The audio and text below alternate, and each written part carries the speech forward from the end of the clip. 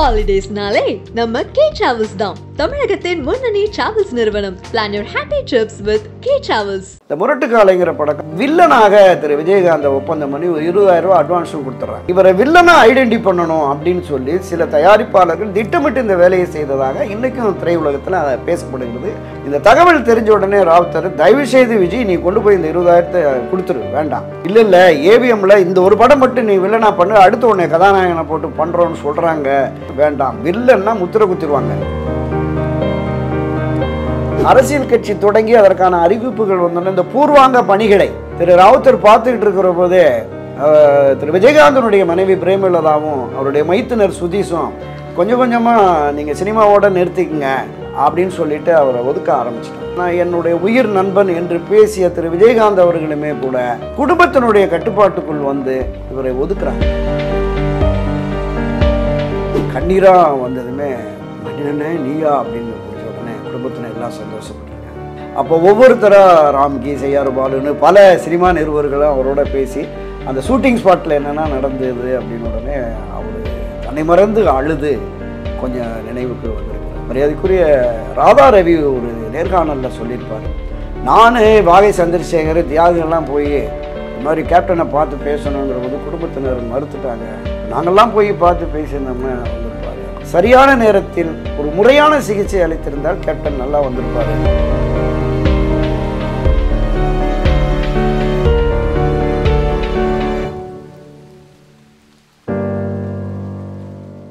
வணக்கம் ஆகாயம் தமிழ் நேயர்களே. விஜயகாந்த் சரிவுக்கு யார் காரணம் என்ன காரணம் அரசியலா உடல்நிலையா குடும்பமா? இதை பற்றி பேசுவதற்காக பத்திரிகையாளர் திரு துரைக்கருணா இங்கு வந்திருக்கிறார். வணக்கம் திரு துரைக்கருணா. வணக்கம் சகோதரன் பெரிய உச்சத்துக்கு போன விஜயகாந்த். கட்சி ஆரம்பித்து தனியாகவே கட்சி நடத்தி தேர்தலை சந்தித்து ரெண்டாயிரத்தி ஆறில் கிட்டத்தட்ட ஏழு எட்டு சதவீதம் ரெண்டாயிரத்தி ஒன்பது மக்களவைத் தேர்தலில் கிட்டத்தட்ட ஒன்பது ஒன்பதரை சதவீதம். அதற்கு பிறகு கூட்டணி அமைத்து அதுவும் ஒரு ஏழரை சதவீதம் இப்படி அமைச்சு அடுத்த தேர்தலிருந்து சரிவு போனதுக்கு அவருடைய அரசியல் முடிவுகள் முக்கிய காரணம் அமைஞ்சதா திரு. விஜயகாந்த் அவர்களை பொறுத்தளவில் அவருடைய அந்த வளர்ச்சியும் வீழ்ச்சியும் பொதுவெளிகளில் பரவலாகவே இப்போது ஏன் அப்படிங்கிற கேள்வி பரவலாக இருக்கிறது. தொடக்கத்தில் அவர் திரையுலகத்துக்கு வருவதற்கு முன்பு அவங்க குடும்ப அந்த ரைஸ் மில்லில் தான் போய் வேலை பார்த்துக்கிட்டு வந்திருக்கிறாரு. திரைப்படங்களை பார்த்துட்டு வந்துட்டு அது தொடர்பாக நண்பர்களோட பேசி அதெல்லாம் பண்ணுற போது நீ சினிமாவுக்கு போகலாம்ப்பா நல்லா பண்ணுற அப்படிங்கிறாங்க. அப்போ கம்பம் எம்ஏ காஜான்னு ஒரு இயக்குனர் அவர் தான். அப்போ அந்த காலகட்டங்களில் அழகு கலர் அதுதான் திரையுலகத்தில் பிரபலமாக இருந்து இருந்தது. அதை உடைக்கணும் அப்படின்னு தான் எம்ஏ காஜா என்ன பண்ணுறாரு துடிப்பான இளைஞனாக இருக்கிறான். ஒரு ஃபயர் தெரியுது அவன் கண்ணில். இவனை கொண்டு போனோம்னா சரியாக வரும்னு தூரத்து இடி முழக்கம்னு நினைக்கிறேன்? தூரத்து இனிக்கும் இளமை. இனிக்கும் இளமை. முதல் தொடக்கத்தில். அப்புறம் தூரத்து இடி முழக்கங்கிறது. அது நிறைய படம் நடிகை தொடர்ந்து சிவப்பள்ளி நிறைய படங்கள் நடித்தார். அப்போ கொண்டு வர்றாங்க. ஒரு நான்கைந்து படங்கள் தொடர்ந்து வருது. ஓரளவுக்கு சக்ஸஸ்ஃபுல்லாக வந்துட்டுருக்கு. திடீர்னு ஒரு பின்னடைவு வந்துடுது. பட வாய்ப்புகளே இல்லை. அப்போ மறுபடியும் மதுரைக்கு போயிடலாம் ராவுத்தர்னு சொல்லி தன்னுடைய நண்பர் இப்ராஹிம் ராவுத்தர் சொல்கிறாரு வேணாம் முயற்சி எடுத்துட்டோம் வந்துருச்சு. பொறுத்திருப்போம் இங்கேருந்து அப்படிங்கிற மாதிரி சொல்லிடுறாரு. சொன்ன உடனே சரி அப்படின்னாங்க. ஊர்லேருந்து தான் பணம் அனுப்பிச்சு செலவுகளுக்கே பணம் இல்லாமல் ஒரு கேரியரில் சாப்பாடு எடுத்துகிட்டு வந்து ரெண்டு பேரும் பகிர்ந்து சாப்பிட்டோம் அப்படிங்கிற மாதிரி ராவுத்தரும் சொல்லியிருக்காரு. திரு. விஜயகாந்தும் சொல்லியிருக்கிறாங்க.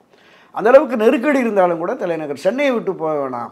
நாம் வந்து இதிலேயே போராடி வெற்றி பெறுவோம் அப்படிங்கிற மனநிலையில் இருக்கிற போது ஏபிஎம்ல இருந்து இந்த முரட்டுக்காலைங்கிற படக்கம் திரு ரஜினி ரஜினிகாந்தருடைய அந்த படம். அதில் வில்லனாக திரு விஜயகாந்த ஒப்பந்தம் பண்ணி ஒரு இருபதாயிரம் ரூபாய் அட்வான்ஸும் கொடுத்துட்றாங்க என்ன காரணம் அப்படின்னு அந்த வட்டாரத்தில் விசாரிக்கிற போது திரு ரஜினிகாந்த் விஜயகாந்த் ரஜினிகாந்துக்கு இணையாக விஜயகாந்த் வந்துடுவாரோ அப்படிங்கிற மாதிரியான ஒரு போக்கு இருந்ததுனால இவரை வில்லனா ஐடென்டி பண்ணணும் அப்படின்னு சொல்லி சில தயாரிப்பாளர்கள் திட்டமிட்டு இந்த வேலையை செய்ததாக இன்றைக்கும் திரையுலகத்தில் பேசப்படுகிறது. அப்போதும் அந்த கருத்தாக்கம் இருந்தது. இந்த தகவல் தெரிஞ்ச உடனே ராவுத்தர் தயவுசெய்து விஜய் நீ கொண்டு போய் இந்த இருபதாயிரத்தை கொடுத்துரு வேண்டாம். இல்லை இல்லை ஏவிஎம்மில் இந்த ஒரு படம் மட்டும் நீ வில்லனா பண்ணு அடுத்த உடனே கதாநாயகனை போட்டு பண்ணுறோன்னு சொல்கிறாங்க நம்ம ஏன் பார்ப்போமே அப்படின்னு வேண்டாம். வில்லன்னா முத்திர குத்திடுவாங்க நீ வில்லன் இதில் நடிக்க ஆரம்பிச்சேன்னா ஒரு நாலஞ்சு ப்ரொடியூசர் வந்துருவாங்க. வில்லன் கேரக்டர் சூப்பர் கேரக்டரு அப்படின்னு வந்துருவாங்க. வேண்டாம் அப்படின்னு சொன்ன உடனே திரும்ப கொண்டு போய் இருபதாயிரம் ரூபா கொடுத்தாரு. திரும்ப கொடுத்துட்றாரு. கொடுத்தோன்னே அடுத்த ஒரு ஒரு ஆண்டுகள்லேயே அவருக்கான பட வாய்ப்புகள் வந்து ஒரு பெரிய நிறைய- திருப்பமா சட்டம் ஒரு இருட்டரை ஆமா, ஆமா, எஸ் ஏ சந்திரசேகர். ஆமாம் ஆமாம் தொடர்ந்து தொடர்ந்து அவனுடைய படமாகட்டும் மற்ற மற்ற படங்களில் அரசியல் ரீதி அரசியல் வந்த பிறகு என்ன என்ன காரணம்? சரிஞ்சதுக்கு என்ன காரணம்? எதில்? அரசியல் ஆமாம். ஆமாம் சரிஞ்சதுக்கு என்ன காரணம்? அரசியல் ரீதியான அதான் அரசியல் ரீதியாக இவரை கொண்டு வர வேண்டும் என்று முயற்சித்து அதற்கான எல்லா அடித்தளமும் விட்டவர் அஹ், ராவுத்தர் தான் இப்ராஹிம் ராவுத்தர் தான். ஆனால் அரசியல் கட்சி தொடங்குற பொழுது அதனுடைய முதல் தொடக்க கூட்டம் குன்றத்தூரில் தான் ஒரு செங்குந்தர் திருமண மண்டபத்தை நடத்தியிருக்காங்க. அது சென்டிமெண்ட்டாகவே இந்த முதல் படம் எம்ஏ காஜா படம் வந்து அந்த குன்றத்தூர் முருகன் கோவில் அடிவாரத்தில் அந்த பகுதியில் தான் எடுத்தாங்க. அதனால் திரு விஜயகாந்த் என்னென்னா தன்னுடைய குடும்பத்தில் எந்த முக்கிய நிகழ்வு நடந்தாலும் அந்த குன்றத்தூர் முருகன் கோவிலில் தான் போய் பண்ணுவார். அதே மாதிரி அரசியல் கட்சியை தொடங்குற பொழுதும் அங்கே தான் போகிறாரு அரசியல் கட்சி தொடங்கி அதற்கான அறிவிப்புகள் வந்தோன்னே இந்த பூர்வாங்க பணிகளை திரு ராவுத்தர் பார்த்துக்கிட்டு இருக்கிற போதே திரு விஜயகாந்தனுடைய மனைவி பிரேமலதாவும் அவருடைய மைத்துனர் சுதீஷும் கொஞ்சம் கொஞ்சமாக நீங்கள் சினிமாவோட நிறுத்திக்கங்க அப்படின்னு சொல்லிட்டு அவரை ஒதுக்க ஆரம்பிச்சிட்டாங்க. தன்னுடைய நண்பன் சொன்னால் எதுவுமே சரியாக இருக்கும். நண்பன் சொன்னால் நான் என்னுடைய உயிர் நண்பன் என்று பேசிய திரு விஜயகாந்த் அவர்களுமே கூட குடும்பத்தினுடைய கட்டுப்பாட்டுக்குள் வந்து இவரை ஒதுக்குறாங்க. அதே மாதிரி வசனகர்த்தா ஒரு பத்து இருபது படங்களில் இருந்த லியாகத் அவர் வந்து இந்த பொலிட்டிக்கல் ஸ்பீச்சுமே சில மேடைகளில் பேசுகிறதுக்கு அவருக்கு தயாரித்து கொடுத்துருக்கிறார். அவரையுமே இந்த குடும்பத்தினர் ஒதுக்காங்க ஒரு அரசியல் கட்சியினுடைய தலைவன் குடும்ப கட்டுப்பாட்டில் போகிற போது அது பின்னடைவும் சரிவும் வரும் என்பதற்கு திரு விஜயகாந்தும் ஒரு உதாரணமாகவே நம்ம சொல்லலாம். முக்கியமாக கிட்டத்தட்ட வந்து ரெண்டாயிரத்தி பதினொன்றில் இருபத்தொன்பது சட்டப்பேரவை தொகுதிகளை பெற்ற தேமுதிக அதுக்கப்புறம் மக்கள் பிரதிநிதித்துவம் பெறவே இல்லை. ரெண்டாயிரத்தி பதினாலு ரெண்டாயிரத்தி பதினாறு ரெண்டாயிரத்தி பத்தொம்போது ரெண்டாயிரத்தி இருபத்தொன்று வரைக்குமே. இந்த சரிவுக்கு என்ன காரணம்? ஏன் மா அவங்க மேலே நம்பிக்கை போச்சு? அவருக்கு செஞ்ச உத்திகள் சரியில்லையா? முடிவுகள் சரியில்லையா? ஏன்னா ரெண்டாயிரத்தி பதினாறில் கூட ரெண்டாயிரத்தி பதினாறில் கூட மக்கள் நல கூட்டணி ஆரம்பித்த போது கூட தே திமுகவோட கூட ஒரு பேச்சுவார்த்தை நடந்தது. இடம் எத்தனைங்கிறது தான் சிக்கல் இருந்தது அப்படின்னு. இந்த முடிவு எப்படி எடுத்தாங்க? என்ன ஏன் எடுத்தார்? அதுதான். அதாவது திமுக அதிமுகவுக்கு மாற்றாக திரு. விஜயகாந்த் என்று முன்னிலைப்படுத்தப்பட்ட பொழுது நீங்கள் குறிப்பிட்ட அந்த எட்டு ஒம்பது சதவீதம் கிட்டத்தட்ட பத்து சதவீதம் அளவிற்கு வாக்குகள் போனது. அதிமுகவோட உடன்பாடு என்று வந்தபொழுது சரிவு வந்துருச்சு. ஒரு ஐந்தாறு சதவீதம் வாக்குகள் சரிய ஆரம்பிச்சிருச்சு. அந்த நம்பகத்தன்மை போனதனுடைய விளைவு தான் இந்த தொடர் சரிவு என்பது. அதிலிருந்து மீட்டெடுப்பதற்காக அந்த ரெண்டாயிரத்தி பதினாறு அந்த மக்கள் நல கூட்டணி கொண்டு வர்ற பொழுது அப்போ ஒரு நம்பிக்கையை ஊட்டுகிறார்கள். இத்தனை அரசியல் கட்சிகள் நம்மோடு இருக்கிற பொழுது நிச்சயமாக நம்மளால் ஆட்சி அதிகாரத்திற்கு வர முடியும். குறைந்தபட்சம் ஒரு பத்து நூறு இடங்கள்லையாவது வெற்றி பெற்று ஒரு கூட்டணி ஆட்சியாவது அமைத்து விடுவோம் என்று தான் அங்கிருந்த அரசியல் கட்சி தலைவர் கம்யூனிஸ்ட் தலைவர்களாகட்டும் மதிமுக விசிக தமாக போன்றவர்கள் எல்லாமே மக்கள் இந்த இரண்டு திராவிட கட்சிகள் மீது அதிருப்தியில் இருக்கிறார்கள். திரு. விஜயகாந்தை முன்னிலைப்படுத்தினால் நமக்கு நிச்சயமாக வாய்ப்பு கிடைக்கும் என்கிற நம்பிக்கையை ஊட்டினார்கள். ஆனால் அந்த நம்பிக்கையும் உடைபட்டு போயிடுச்சு. பொதுமக்கள் நான் அடிக்கடி சொல்கிற மாதிரி யார் ஆட்சி அதிகாரத்திற்கு வர முடியும் என்கிற கண்ணோட்டத்தில் தான் ஒவ்வொரு தேர்தலின் போதும் மக்கள் வாக்களிப்பார்கள். அந்த அடிப்படையில் திமுக அதிமுகவுக்கு மாற்றாக ஒரு மூன்றாவது கட்சி. எப்பவுமே மும்முனை போட்டி என்று வந்தால் இந்திய அளவிலும் சரி மாநில அளவிலும் சரி அந்த மூன்றாவது அணிக்கு வெற்றி வாய்ப்பே சுத்தமாக இருக்காது.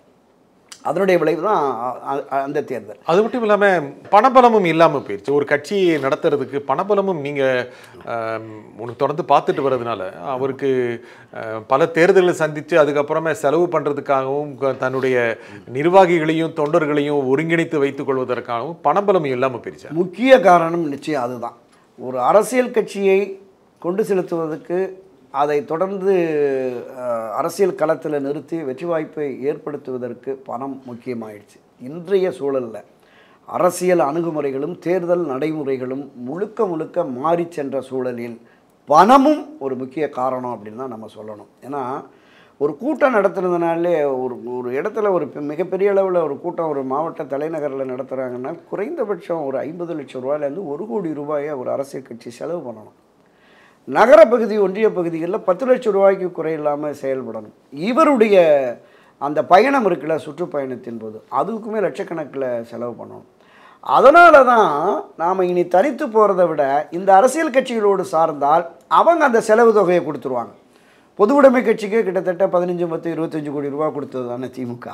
ஸோ அது மாதிரி அரசியல் கட்சிகள் உடன்பாடு தேர்தல் உடன்பாடு என்று வைத்துக்கொண்டால் அவர்களுக்கான செலவு தொகைகளை இந்த இரண்டு பெரிய அரசியல் கட்சிகள் திமுக அண்ணா திமுக பார்த்துக்குறோம். ஸோ அந்த அடிப்படையில் தான் அவர் அந்த கூட்டணியை வச்சார். அதன் பிறகு இன்றைக்கும் கூட ஒவ்வொரு தேர்தலின் போதும் யாரோடு கூட்டணி இல்லை அப்படின்னு தொடங்குவாங்க. தேர்தல் நெருங்க நெருங்க எந்த பக்கம் ஒரு அதிக சீட்டு நோட்டு கிடைக்குதோ அங்கே போய் நம்ம இணைஞ்சிருவோம் அப்படிங்கிற அந்த நிலைக்கு எல்லா அரசியல் கட்சிகளுமே வந்துருச்சுங்கிறது தான் கலை யதார்த்தம். திரு விஜயகாந்த் உடல்நிலை கெட்டதும் முக்கியமான காரணம். அவரால் பேச முடியல முடிவெடுக்க முடியல அது முக்கியமான காரணமாக சரிவு. கடந்த ஒரு மூன்று நான்கு ஆண்டுகளுக்கு முன்பே அவருக்கு திடீரென ஒரு நோய் தாக்கம் ஏற்பட்டு அந்த மெமரி லாஸ் நினைவு குறைவு ஏற்பட்டுருச்சு. அந்த நினைவு குறைவு ஏற்பட்ட காலகட்டத்தில் அவரை பரிசோதித்த மருத்துவர்கள் அவரோடு நெருங்கி பழகிய அவரோடு நடித்த அவருங்களை கொண்டு வந்து இவரோட பேச வைங்க. அப்போ தான் அதிலிருந்து மீட்டெடுக்க முடியும் அப்படிங்கிற மாதிரி ஆலோசனைகள் சொல்லியிருக்காங்க. அந்த காலகட்டத்தில் கிட்டத்தட்ட ஒரு இருபது பத்திரிகையாளர்கள் அவரோடு பயணித்த திரையுலகைச் சேர்ந்த இந்த சினிமா நிருபர்கள் அவங்கள கொண்டு போய் அவரோட பேச விட்டுருக்காங்க. அவர் ஒருத்தராக பேசியிருக்காங்க. அந்த படம் போனமே அந்த ஷூட்டிங் பார்த்தீங்களா அப்படின்னு பேசிகிட்டு இருக்கிற போது தேவி மணின்னு ஒரு பிரபலமான சினிமா பத்திரிகையாளர் அவர் ரொம்ப நெருக்கமாக போய் எனக்கு ஞாபகம் இருக்கா? அங்கே போனோமே இங்கே போனோமேன்னு. உடனே விஜயகாந்த் கண்ணிலேருந்து மல மலமலன்னு கண்ணீராக வந்ததுமே மணியண்ணே நீயா? அப்படின்னு பிடிச்ச உடனே குடும்பத்தினர் எல்லாம் சந்தோஷப்பட்டிருக்காங்க. அப்போ ஒவ்வொருத்தராக ராம்கி செய்யாறு பாலுன்னு பல சினிமா நிறுவர்களும் அவரோட பேசி அந்த ஷூட்டிங் ஸ்பாட்டில் என்னென்னா நடந்தது அப்படின்னு உடனே அவர் தன்னை மறந்து அழுது கொஞ்சம் நினைவுக்கு வந்திருக்கிறார். அந்த ட்ரீட்மெண்ட் என்பது அதே போல் தொடர்ந்து திரையுலகை சார்ந்தவர்கள் மற்றவங்கலாம் போயிருந்தாங்கன்னா அவர் இயல்நிலைக்கு அப்போவே திரும்பி நல்லா வந்திருப்பார் அப்படின்னு. மரியாதைக்குரிய ராதா ரவி ஒரு நேர்காணலில் சொல்லியிருப்பார். நான் வாகை சந்திரசேகர் தியாகங்கள்லாம் போய் இது மாதிரி கேப்டனை பார்த்து பேசணுங்கிற போது குடும்பத்தினர் மறுத்துட்டாங்க. வேண்டாம் வேண்டாம் அவர் ட்ரீட்மெண்ட்டில் இருக்கார். அவரை சொல்ல பண்ணாதீங்கிட்டாங்க அப்படின்னு இப்போ நாங்கள்லாம் போய் பார்த்து பேசியிருந்தோம்னா வந்திருப்பார் அப்படின்ட்டு. அப்போது இருந்தே அது வந்துடுச்சு நம்ம சில தேர்தல்களில் பார்த்துருப்போம். அப்படியே உட்கார வச்சுருப்பாங்க. இந்த இந்த கட்சி அரசியல் கட்சி தலைவர்கள் சந்தித்து போகிறபோது எதிர்த்த மாதிரி தலைவர் இருப்பார் இவருடைய பார்வை வேறு பக்கம் இருக்கும். அதுக்காகவே திடீர்னு அந்த கருப்பு கண்ணாடி கூலிங் கிளாஸை அவர் கண்ணில் போட்டு பின்னாடி ஷோல்டரில் பிடிச்சிக்குவாங்க. கட்சி அலுவலகத்துக்கு வர்றபோது அந்த பார்சாரதி இன்னும் ரெண்டு பேரும் அவரை பின்னாடியே பிடிச்சிக்குவாங்க. அந்த அளவுக்கு அவருடைய உடல்நிலை மோசமாயிடுச்சு. அப்புறம் அரசியல் ரீதியான முடிவு எடுப்பதற்கு அவருடைய குடும்பத்துடைய நிர்பந்தம் காரணம்? முழுக்க முழுக்க அவருடைய திரு. விஜயகாந்தனுடைய மனைவி பிரேமலதாவும் பிரேமலதாவினுடைய சகோதரர் சுதீஷ் அவங்க ரெண்டு பேரும் தான் இந்த முடிவுகளை கட்சியினுடைய நிர்வாகிகளாக பலர் இருந்து அரசியல் ரீதியாக கொள்வரப்பு செயலாளர் துணை பொதுச் செயலாளர்கள் பொருளாளர்கள் என்று இருந்தாலுமே அவர்களோடு கலந்து ஆலோசித்து முடிவெடுக்க வேண்டும் என்கிற அந்த எண்ணமோ உணர்வோ அவர்களுக்கு இல்லை. முழுக்க முழுக்க அந்த இரண்டு பேர் மட்டுமே அரசியல் ரீதியான முடிவை எடுத்து அது ஒரு மிகப்பெரிய சரிவை பின்னடைவை சந்தித்து விட்டது என்று தேமுதிகவிலிருந்து வெளியேறிய இன்றும் அங்கு இருக்கிற பல நிர்வாகிகளுடைய குற்றச்சாட்டாகவே அது இருக்கிறது. எப்பொழுது முக்கியமாக இந்த முடிவு எடுக்க ஆரம்பிச்சாங்க தனியா அவர் கட்சி ஆரம்பிக்கும் போது இவர்களும் இருந்தாங்க. நிச்சயமா, திருமதி. பிரேமலதாவும் திரு சுதீஷும் இருந்தாங்க. ஆனா அதுக்கப்புறம் கூட்டணி அமைக்கணும் அதுக்கப்புறம் யாரோட கூட்டணி அமைக்கிறது அப்படிங்கிறது இந்த விஜயகாந்தே டிரைவ் பண்ற ஃபோர்ஸா இல்ல அவர் நடத்தி வழி நடத்தி செல்கின்ற அதிகாரமிக்க சக்திகளாக எப்பொழுது மாறினாங்க? அது எந்த தாக்கத்தை ஏற்படுத்துச்சு? அதுதான். இப்போ அண்ணா திராவிட முன்னேற்ற கழகத்தோடு தேர்தல் உடன்பாடு வைத்து அதிலிருந்து ஒரு கணிசமான இடங்களும் தொகைகளும் கிடைத்ததற்கு பிறகு இது ஒவ்வொரு தேர்தலின் போதும் நாம் தேர்தல் உடன்பாடு வைக்கிற பொழுது இடங்களும் கணிசமான தொகைகளும் நமக்கு கிடைக்கிறது. அரசியல் கட்சியை நடத்துவதற்கும் இதை தாண்டியும் நாம் தேர்தல் பிரச்சாரம் மற்றதற்கு பயன்படுத்துவதற்கு பணம் கிடைக்கிறது அப்படிங்கிற போது ஸோ அதற்கு இந்த இதை பெறுவதற்கான அந்த முன்முயற்சியை நம்முடைய குடும்பத்தை சார்ந்தவர்களே போய் பேசி எடுப்போம். அரசியல் கட்சிகளில் பொறுப்புகளில் இருக்கிறவங்களை விட்டால் அது சரியாக வராது அப்படின்னு முழுக்க முழுக்க திரு. விஜயகாந்தை அரசியல் ரீதியாகவும் இவர்கள் தான் வழிநடத்தி இருக்கிறாங்க. இவரை தொடர்ந்து சிகிச்சைக்கான ஒரு மிகப்பெரிய அளவிலான தேவைப்படுகிற சிகிச்சையை உரிய காலத்தில் கொடுக்கவில்லையோ என்கிற மாதிரியான ஒரு குற்றச்சாட்டும் கூட அந்த வகையில் இருக்கு. இது நீங்க முக்கியமான விஷயம் அந்த மாதிரி குற்றச்சாட்டு இருக்கா? அந்த நான் முக்கியமான ஒரு நடிகர் அரசியல்வாதி ஒரு முக்கியமான முக்கியமான ஒரு ஆளுமை. அவங்க குடும்பத்தினர் என்ன உடம்பு பார்த்துக்காம இருப்பாங்க முழுக்க முழுக்க அவர் மீது ஒரு அபரிமிதமான அன்பு பற்று அந்த குடும்பத்தினருக்கு நிச்சயமாக இருக்கும். நான் இதற்கு முன்னதாக சொன்னேன்ல பத்திரிகையாளர்கள் சென்று சந்தித்ததற்கு பிறகு அவரோடு நெருங்கி தொடர்புடைய அவரோடு பல படங்களில் நடித்திருக்கிறவர்கள் தொடர்ந்து அவரோட பேசணும்னு விரும்பி ரவி பொதுவெளிகளில் சொன்னார்ல. இப்போ அந்த மாதிரியான சூழல் வந்து ஒரு இயல்பு நிலைக்கு திரும்பியதற்கு பிறகு அது தேவைப்படுகிற அந்த சிகிச்சைகளை அவர்கள் முறையாக சரியாக கொடுத்தார்களாங்கிறது பொதுவெளி சந்தேகமாகவே இருக்கிறது. ஆனால் நம்ம நேரடி குற்றச்சாட்டுன்னு திருப்பதி பிரேமலதா மீதோ சுதீஷ் மீதோ சொல்லுவதற்கு எந்த வாய்ப்பும் இல்லை. தொடர்ந்து இந்த விமர்சனம் என்பது அவர்களுடைய வட்டாரத்திலேயே திரு விஜயகாந்த் அவருடைய குடும்பத்தினராக இருந்தாலும் சரி இங்கே அரசியல் கட்சிகளில் இருக்கிறவர்களும் சரி சரியான நேரத்தில் ஒரு முறையான சிகிச்சை அளித்திருந்தால் கேப்டன் நல்லா வந்திருப்பாரு அப்படிங்கிற பார்வை. வெளிநாடெல்லாம் கொண்டு போய் சிகிச்சை பண்ணாங்க ஆமா, ஆமா, ஆமா. வெளிநாடு எல்லாமே பண்ணாங்க தொடர்ந்து. பார்த்துட்டு தான் இருக்காங்க நிச்சயமாக நிச்சயமாக அந்த சிகிச்சை உரிய காலத்தில் தாமதமாக அந்த சிகிச்சைகள் வழங்கப்பட்டிருக்கலாம் உரிய காலத்தில் வழங்கப்பட்டிருந்தால் நிச்சயமாக அவர் இன்னும் நன்றாக வந்திருப்பார் அப்படிங்கிறது அவங்க வட்டார தகவலாக தான் இருக்குது நமக்கு இது தொடர்பாக பொதுவெளி தகவலாக எதுவும் இல்லை. ஆனால் அஹ், தன் ஆனா ஏன்னா அரசியல் ரீதியாக எந்த அளவுக்கு அவருடைய சரிவுக்கு காரணமா இருந்தாங்க? இல்லை இல்லை அதுதான். அதாவது ஒரு அரசியல் கட்சி இப்போ தேமுதிக வந்து செல்வாக்கு மிக்க கட்சியாக தமிழகம் முழுவதுமே இருநூத்தி முப்பத்தி நாலு தொகுதிகளிலும் குறைந்தபட்சம் பத்தாயிரத்திலிருந்து அதிகபட்சம் இருபதாயிரம் ஐம்பதாயிரம் அறுபதாயிரம் நாடாளுமன்ற தேர்தலில் ஒரு லட்சம் வாக்குகள் பெறக்கூடிய அளவிற்கான வளர்ச்சியில் இருந்த காலகட்டத்தில் அவர்களுக்கு ஒரு செல்வாக்கு இருந்தது. அரசியல் கட்சிகள் தேர்தல் உடன்பாடு கொள்வதற்கு அவர்களை தேடக்கூடிய சூழல் இருந்தது. அப்படி தேடி போகிற போது நீங்கள் குறிப்பிட்ட மாதிரி திமுக வந்து அவரை கொண்டு வந்துடணும்னு கடந்த இரண்டு தேர்தல்களில் முயற்சி எடுத்து அது நடக்கலை. இப்போ பின்னடைவு உடல் ரீதியாக திரு விஜயகாந்த் அவர்களுக்கு உடல் ரீதியான பின்னடைவு ஏற்பட்டதற்கு பிறகு அவருடைய பிரச்சாரம் என்பது இந்த நம்முடைய கூட்டணிக்கு பயன்படாது என்கிற போது ஒதுங்க ஆரம்பித்து விடுகிறார்கள். அப்படி ஒதுங்க ஆரம்பித்ததற்கு பிறகு இவர்கள் தனித்து தான் விடப்பட்டிருக்கிறார்கள். இந்த நிலைப்பாடு என்பது ரஜ திரு விஜயகாந்துக்கு ஏற்பட்ட உடல்நலக்குறைவு கட்சிக்கு ஏற்பட்ட பின்னடைவு சரிவு. இது வந்து அந்த பேரம் பேசுகிற அந்த தன்மையை குறைத்து விட்டது அப்படின்னா ஆனால் முக்கியமாக கட்சியிலிருந்து வெளியேறி வெளியேறி விஜயகாந்த் ஓரளவு சுமாராக இருந்தபோது வெளியேறவங்க எல்லாமே கட்சியில் இருக்கின்ற இந்த பிரமுகருடைய ஆளுகை அவங்களுடைய அதிகாரம் இதை குறை சொன்னாங்க. சரிவுக்கும் இவங்க காரணம் நினைக்கிறீங்களா? இல்லை இப்போ ஒரு அரசியல் கட்சியிலிருந்து வெளியேறுகிற பொழுது அந்த அரசியல் கட்சியினுடைய வளர்ச்சிக்கு தலைமைக்கு விசுவாசமாக இருந்தவர்கள் வெளியிலே சென்று இவர்களுடைய ஆளுமை இவர்களுடைய ஆதிக்கம் என்பது அதிகரித்திருக்கிறது என்கிற குற்றச்சாட்டில் நிச்சயமாக நூறு சதவீதம் உண்மை இருக்கும்.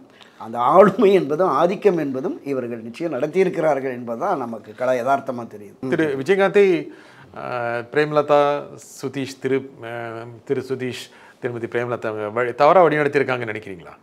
இல்லை இப்போ தவறாக வழிநடத்துவதற்கு அதற்கான காரண காரியங்கள் அவங்களுக்கு இருக்கா அப்படிங்கிறது நம்ம தெரியலை தெரியலை. ஆனால் இந்த செயல்பாடுகள் என்பது அவர்களுடைய எல்லாவற்றையுமே அதாவது பொறுப்புகள் நியமிக்கிறது மாவட்ட நிர்வாகிகளை தங்களுடைய கட்டுப்பாட்டில் கொண்டு வந்து நான் சொல்கிறதான் செய்யணும் அப்படிங்கிற மாதிரியெல்லாம் ஏன்னா வெளியில் வந்த ஆட்கள் சொன்ன விஷயந்தான் சேலத்தை சேர்ந்த ஒரு பிரமுகர் கூட சொல்லியிருந்தார். முழுக்க முழுக்க கேப்டன் கட்டுப்பாட்டில் கட்சி இருந்த வரைக்கும் ரொம்ப நல்லா இருந்தது. மேடமும் சுதீஷும் இந்த மாதிரி அவங்க ஆளுமைக்கு அவங்க அதிகாரத்திற்கு கொண்டு வந்ததுக்கு பிறகு தான் அந்த சரிவே அப்படிங்கிறது. அங்கிருந்து வெளியில் வந்தவர்களுடைய தகவல். அந்நியார் அந்நியார் வந்து ஆமாம் ஆமாம் அந்நியார் தான்மா அந்நியாரும் சுதீஷும் தான் அதுக்கு காரணம் அப்படிங்கிற மாதிரி. அந்த கட்சியினுடைய பொதுச் செயலாளர் என்கிற பொறுப்பில் கூட திரு ராமு வசந்தன் நினைக்கிறேன். அவருக்கு பிறகு வேறு யாரையுமே போடலை. அப்படி கட்சியை வழிநடத்துவதற்கு தேவையான நிர்வாகிகளை முழுமையாக போடலை. நிர்வாகிகளை வந்து இவங்களுக்கு தேவையான ஆட்களை மட்டுமே போட்டுட்டாங்க அப்படிங்கிற மாதிரி இருந்தது. ஒரு அரசியல் கட்சியில் ஒரு தலைமை அவருக்கு இருக்கிற அந்த முடிவெடுக்கிற அதிகாரம் தவறி அடுத்த நிலைகளில் இருக்கிறவர்கள் முடிவெடுக்கிற வந்ததுன்னா எந்த அரசியல் கட்சிக்கும் சரிவும் பின்னடைவும் நிச்சயமாக இருக்கும். அதற்கு தேமுதிகவும் ஒரு உதாரணம் அப்படின்னு தான் நம்ம பார்க்கலாம். இந்த நிகழ்ச்சியில் கலந்து கொண்டு ஒரு கருத்தை குறிமிக்காக திரு. துரைக்கரன் மிக்க நன்றி. நன்றி வணக்கம். மீண்டும் ஒரு நிகழ்ச்சியில் சந்திப்போம். நன்றி வணக்கம்.